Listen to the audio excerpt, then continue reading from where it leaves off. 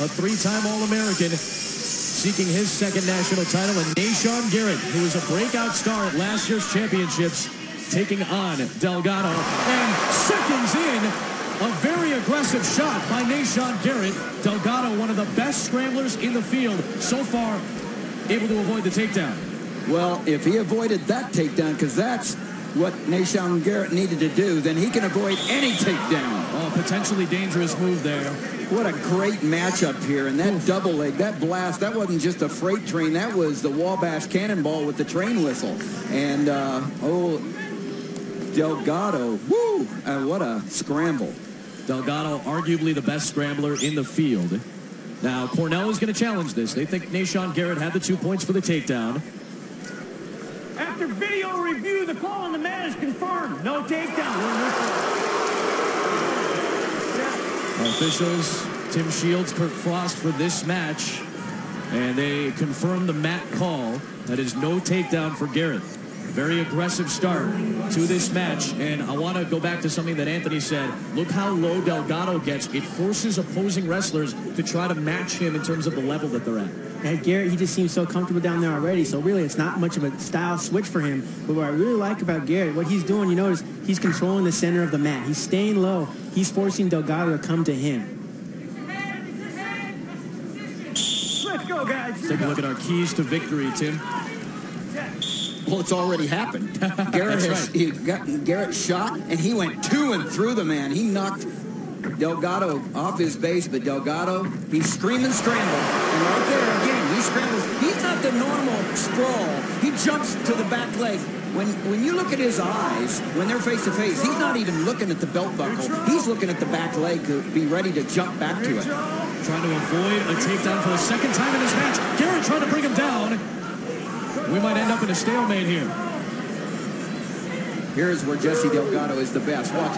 Whoever keeps their head up is going to win this scramble. There it is, the stalemate. Delgado is so good in scramble situations. Again, we said it, arguably the best in the field this year. Uh, Delgado's a gr- doing a great job of scrambling there, but at some point, Garrett's going to finish one of these Yes, takedowns. He's doing a great job just sticking with his strategy, controlling the center of the mat. You control the center, you're controlling the pace.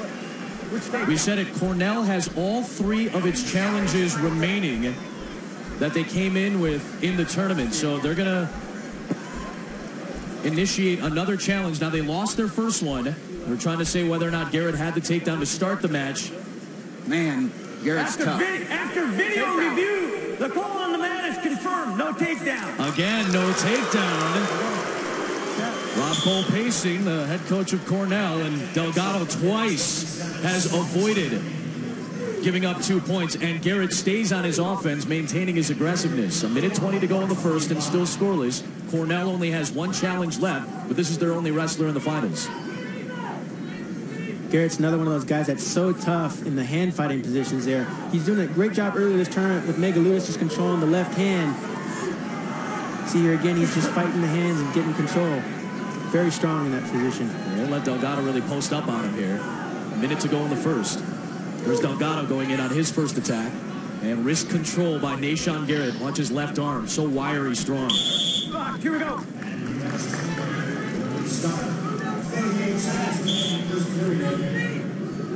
Garrett again in on a leg. A single this time. And a scramble by Delgado to avoid the two. Boy, you can tell both these wrestlers expect to win. What a great matchup. And Delgado trying to maintain position. Now Garrett in a defensive hold. And he's got a head up. He's pressuring in. Trying to scramble out of bounds. And he does. Nicely done by Garrett. What a great first period between these two. There we go.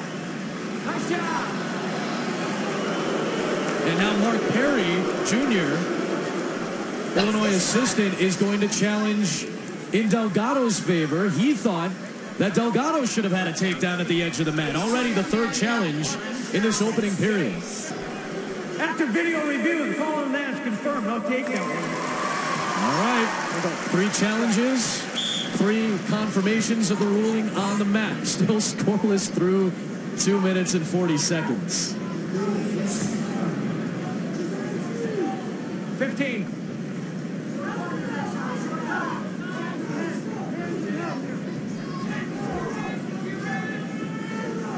Garrett 0-2 against Jesse Delgado in his career, including last year's semifinals. Very aggressive in his first, but still no score. Let's go to Quint Kessenich with Cornell coach Rob Koll.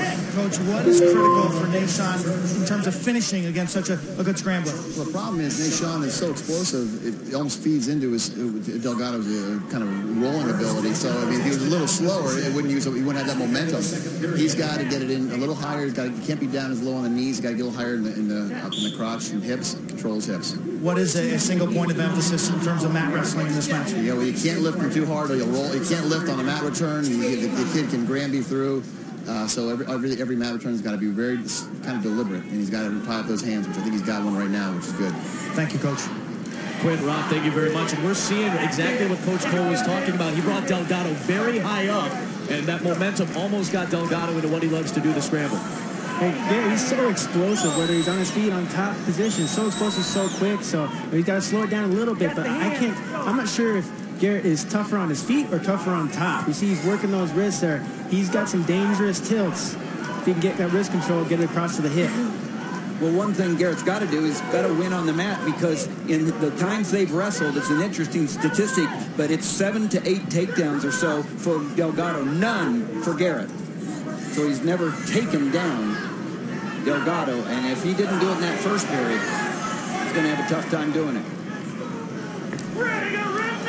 And get a stall call against Garrett.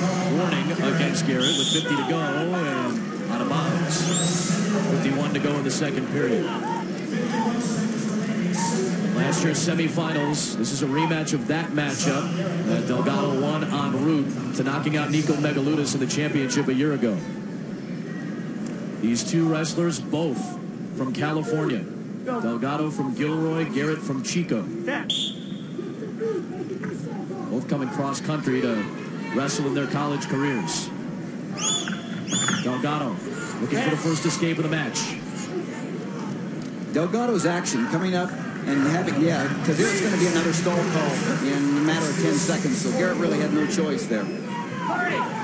He did establish a riding time point. Delgado right back to his offense. Look how he gathers himself. The hips underneath him, head up.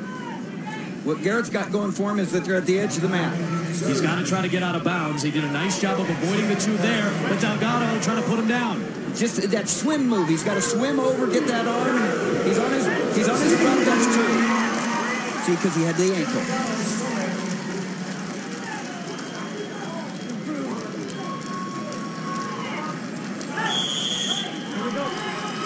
Delgado 3-0 lead through two. His parents, Jesus and Liz, looking on. Liz wasn't able to be at the championships in Des Moines a year ago, tending to an infant back at home in California, but they're both here in attendance tonight, hoping Jesse can win his second consecutive national championship. So on their feet, we saw the aggressiveness of Garrett in the first period. Is he going to be as aggressive this time? That's a smart move there by Garrett, picking neutral, conserving his ride time point. He's really been a force on his feet. He just can't seem to finish off those takedowns because of his scrambling ability. But let's see if he can change it up here. The coaching staff told Garrett not to chase Delgado too much, but he may not have a choice here. Delgado gets down with a stall warning. A minute 35 to go.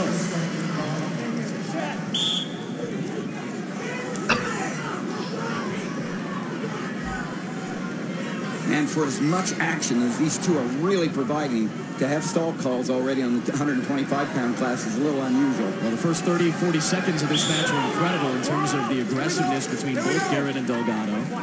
How fast they are, how quick they are. You want to know how tough Garrett is? Just look at that tape on his nose. He's not afraid to get physical. Yeah. He's been battered and bloodied up during this NCAA tournament these last three days. What, what you'd like to see is these wrestlers be able to handle it on the mat, the referees not get too involved. Minute to go. Garrett does have the riding time point.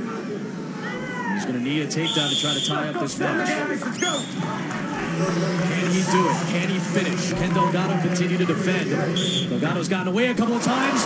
Garrett back in on a leg and a great scramble by Delgado again. Watch Delgado come up. Shoelace to the to the mat. Around, head up. He keeps the head up. And the officials are going to whistle this. Same for a stop. situation as they were when they went out of bounds earlier. That blood time right now. I see Delgado with uh, a little bit under his right eye there. A potentially dangerous call by the officials, so they're going to stop it there. Back to the feet they go. Garrett continues to press forward, trying to get some kind of angle on a guy who's got such a low, low position to try to take him down. It's so difficult against Delgado. Definitely is. You heard Coach Koll saying earlier how Nahshon has to aim a little bit higher up, not so low, but it's hard to do against a guy like Delgado because he's staying so low. The only opening is down below his knees. Delgado needs a shot, and he just gave it. And the riding time point belongs to Garrett as he tries to scramble out of bounds. Almost got in too deep. The Illinois coaching staff wants a stall call. But out of bounds they went. Jeremy Hunter, NCAA champion for Penn State 15 years ago. And Delgado's not worried about stalling right now. Just 10 seconds to go. There is a stall call, though. It's a point for Garrett. Trying to roll them out of bounds, but they're already outside the cylinder. Four seconds to go. Delgado just trying to survive these final moments. Being chased by Garrett. Edge of the mat, that'll do it. Back-to-back national titles for Jesse Delgado.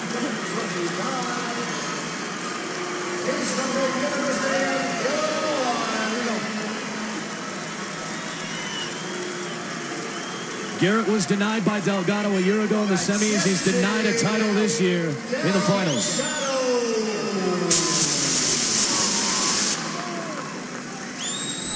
A lot of mutual respect between these two incredible athletic, athletic wrestlers.